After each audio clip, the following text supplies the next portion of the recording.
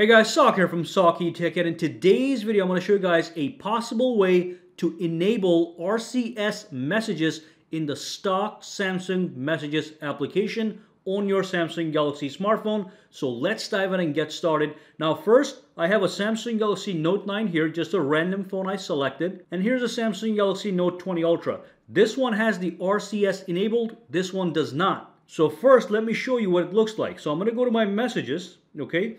I'm going to tap on my settings over here and go into the settings. And on the top, you can see the advanced messaging features. If I tap it one more time, you have the RCS enabled and all the corresponding features as you can see. Now, when I go to this phone over here, this one is the one that does, does not have it enabled. I go to my settings and we don't have anything else other than the standard features for Samsung smartphones. So using this phone, I'm going to show you how to get the advanced messaging features on the stock messages application. Let's dive in and get started right away. Now real quick, as you know, RCS enables features like typing bubbles and red receipts when you're typing with other people. Now the very first step you want to take is you want to go to my website. You want to click the link down below. It's going to take you to this web page right here and you want to grab the Google phone dialer. So I'm going to scroll down just a little bit, okay? Here's the link right here under download. You click on it. It takes you to the Play Store and you install the official Google phone dialer. This is made by Google so it's 100% safe. Now once you have installed it, you're to click open and when you open it for the very first time, it's to ask you to set it as your default dialer.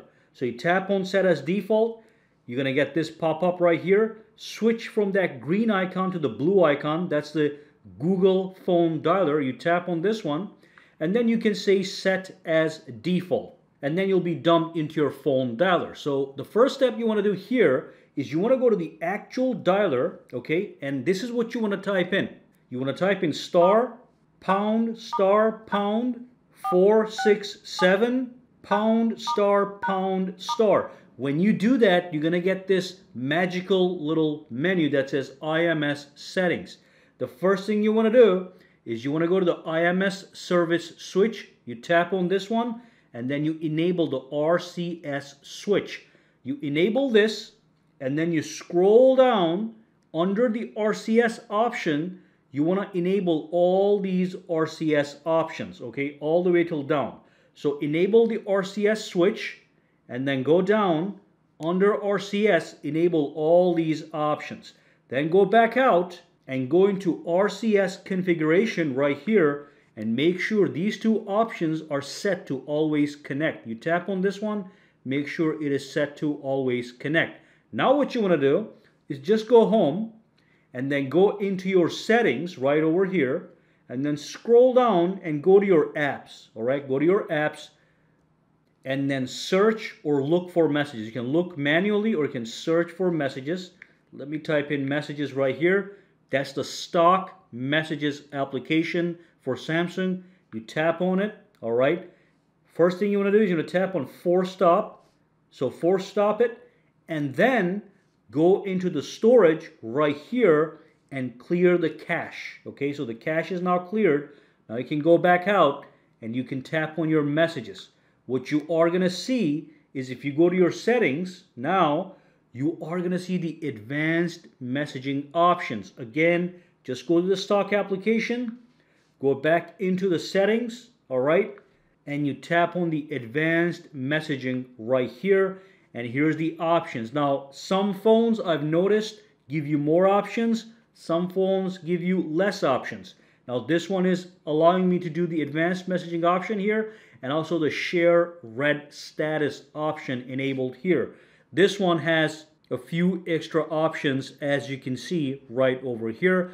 That's going to be based on which phone you have, which carrier you have. Now there's no guarantee this is going to work, but it's a possible way to force the settings into your applications. You can try with a friend and let me know if it is working for you. I have not tested this feature out fully, but once I do, I will let you guys know if it's working or not properly. Now I do want to give a huge shout out to Procope, whose name I just probably butchered, but he's the one who let me know all about it. So huge shout out to my Twitter follower And if you guys have any questions, comments, or concerns, drop them down below and let me know. See if you can get this enabled and if you get some cool features with the advanced messaging RCS ability. All right.